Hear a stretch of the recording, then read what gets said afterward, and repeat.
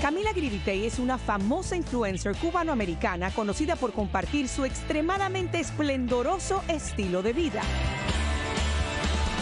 Entonces acá tenemos mi nuevo closet un poquito más pequeño. Solo en sus exclusivas carteras hay una inversión de millones de dólares.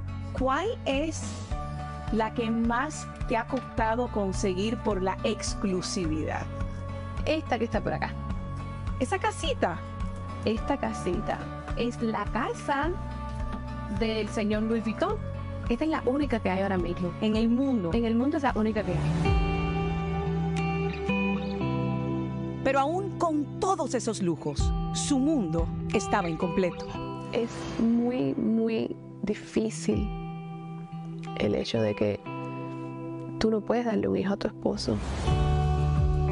Camila se casó en el 2016 con Juan Carlos Izquierdo, con quien estudió y su meta siempre fue ser padres. Mi diagnóstico es infertilidad no identificada. Cada vez que hacíamos, que poníamos el embrión adentro de mí, el embrión no crecía y yo perdía los embarazos. ¿En algún momento pensaste en tirar la toalla? Sí, la tercera vez que yo salgo embarazada y que no se da, pero que lo pude ver en el ultrasonido, fue horrible.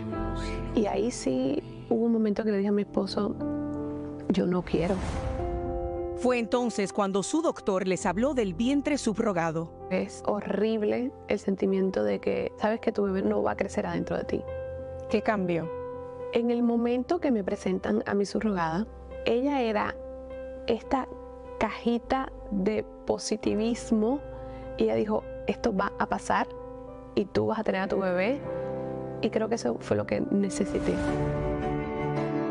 Después de tanta oscuridad, su aurora llegó. Dios bendiga ese luz. Camila, mírala ahí tu brazo, Camila. Camila, y para la gente tal vez tú lo tenías todo. Uno de los comentarios más feos era eso. Y era de los que más me afectaba, sí. Eh, nunca vas a ser mamá porque siempre estás presumiendo y ta, ta, ta, ta. Y, y la gente no sabe que del otro lado de la pantalla no es un robot que hay, una persona que sufre y no sabe el sufrimiento que pasa. Y así tiene un mensaje para quienes están pasando por lo que ella vivió. Hay tantas mujeres allá afuera que no saben de esta opción, que no saben que, que tenemos esta pequeña esperanza para nosotras también. Y yo sé que es un procedimiento que es caro, porque las agencias cobran, los abogados ¿Cuánto cuesta, cobran. más o menos?